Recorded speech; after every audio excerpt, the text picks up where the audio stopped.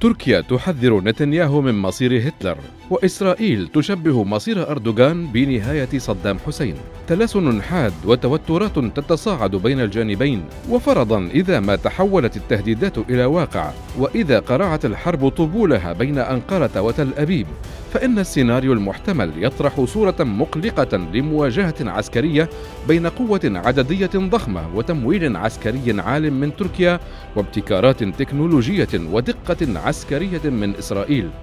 موانع كثيرة تمنع نشوب نزاع مسلح شامل بين البلدين، لكن ربما يكون هناك معارك متقطعة في البحر والجو إذا احتدمت الأمور بين الدولتين اللتين تبعدان عن بعضهما مسافة تقطعها طائرة F-16 في عشر دقائق.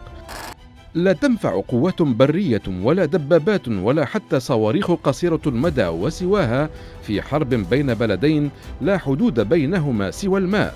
فالمسافة التي تفصل إسرائيل عن تركيا تضعها ضمن جغرافيا تتحكم فيها القوة البحرية التركية إلى حد كبير، فتركيا وفقا لأرقام جلوبال فاير باور هي صاحبة القوة البحرية الأكبر بين جميع دول البحر الأبيض المتوسط باستثناء فرنسا. أما التفوق في السلاح الجوي فهو لصالح إسرائيل بعدد الطائرات ونوعيتها.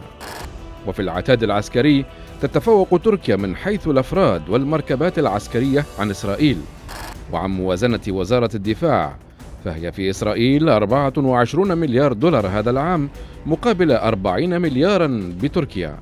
باختصار كلا البلدين يمتلكان قدرات عسكرية متقدمة في مختلف المجالات. الجيش التركي يتميز بقوته العددية وتجهيزاته البحرية والبرية ويصنف ثاني أقوى جيوش الناتو وهو في المرتبة الثامنة عالميا. بينما يبرز الجيش الإسرائيلي بتفوقه التكنولوجي وأنظمة الدفاع الصاروخي المتطور وهو في المرتبة السابعة عشرة عالميا وفقا لجلوبال فاير باور. وبينما تستمر التهديدات في التصاعد فإن أي نزاع محتمل بين هاتين القوتين قد يفتح أبوابا لسيناريوهات غير متوقعة.